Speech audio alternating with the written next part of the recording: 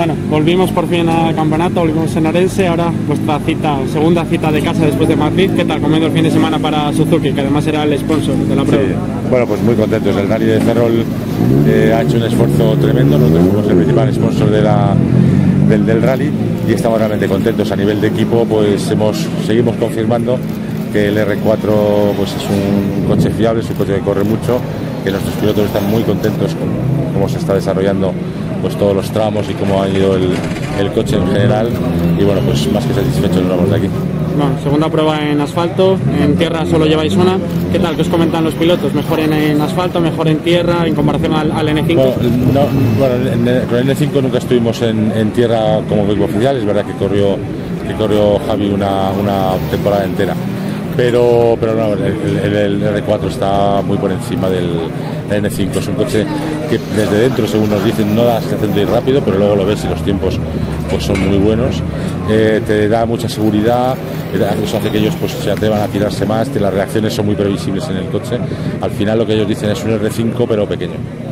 Bueno, aquí veíamos que en la asistencia tenéis una tercera unidad del Rally 4, creo que es exactamente igual a la que lleva eh, Pardo y, y Viñez. Sí. Eh, esa unidad, ¿hay más proyectos para Suzuki? O bueno, es simplemente una unidad de muestra, es una evolución. No, no, no, no, no es una evolución, es una unidad más que hemos hecho. Tenemos la intención de hacer eh, pues al menos una o dos unidades todos los años. Pues iremos o bien sustituyendo la, de, la, la más antigua de, de nuestros pilotos.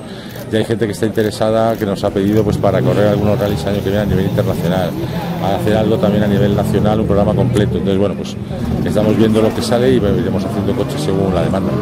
En Orense es Cannabis la segunda temporada de la Suzuki, de la Copa Suzuki. Aquí ha vuelto a estar y de momento, a pesar de la crisis que tenemos encima, parece que, que cumplen casi 20 inscritos en Sí. las dos pruebas. ¿Qué tal? ¿Cómo se ve desde Suzuki? Que bueno, que sois la Copa dominante y que seguís siéndolo. Bueno, bien, hemos sido la Copa Dominante durante los últimos 12, este es el decimotercer año.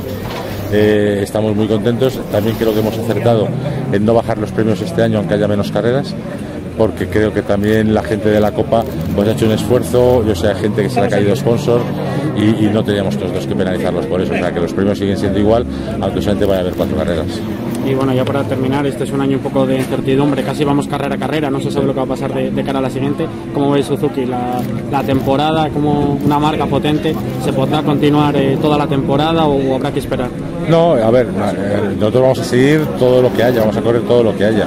Vamos a intentar, pues, porque la situación no es solamente en los rallies, es una situación a, a nivel mundial. Entonces nos tenemos que adaptar, iremos viendo carrera a carrera, pero va a seguir en los rallies. También en las del supercampeonato, porque aquí se escribieron Viñes y Pardo, si no me equivoco, están los No, en el supercampeonato lo hacemos pues porque, eh, porque es ya una costumbre, por poco dinero. el asfalto. Pero sí, vamos a estar en el asfalto y luego pues Pardo siempre tiene eh, algunas ganas a veces de salir en algo de tierra y tal, bueno, pues para tenerla ahí por si optase en algún momento a, a ganar la tierra también.